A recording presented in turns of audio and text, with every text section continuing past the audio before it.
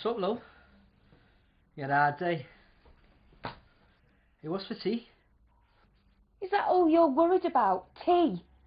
I've been running around after that child since the early hours of this morning. He finally puts his head on his pillow, and all you care about is food. I only asked, love. There's no need to have a go at me.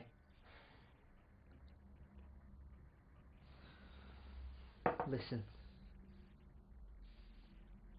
Why don't you relax? And I'll make tea.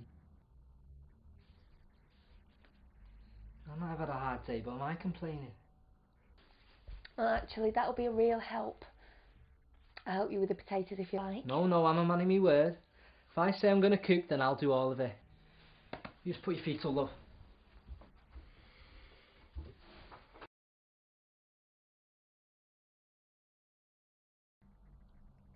As I was saying, Damien's just not behaving like kids his own age. He's not settling down at all. I bought him a jigsaw so that he would sit still, but he gets bored really quickly.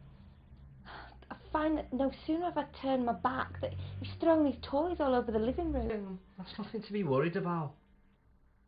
He's got my genes, that lad. It just means he's very intelligent. He's got a lot of energy. But he just wants to do a lot of things at the same time, that's all. Oh, I don't know, Patrick. I've always tried to teach him how to behave, but ever since he turned two, he's become more and more of a handful. It's the same every day. I'm just exhausted. You're making it sound like there's something wrong with being energetic. Look at me. Long day of work, I come home, I make the tea, do the dishes, I lend you an ear. Don't see complaining about that. You might think it's funny, but you don't have to deal with his screaming, say, at the supermarket when I don't buy him the things he wants.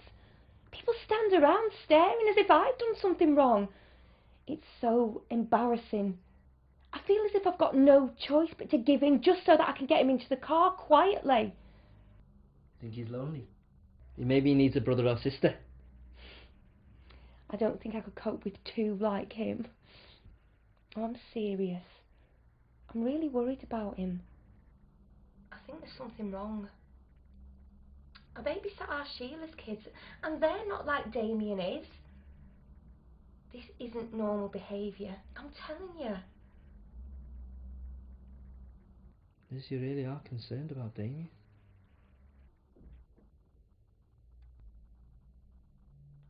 Why don't you go and speak to a health advisor at the clinic?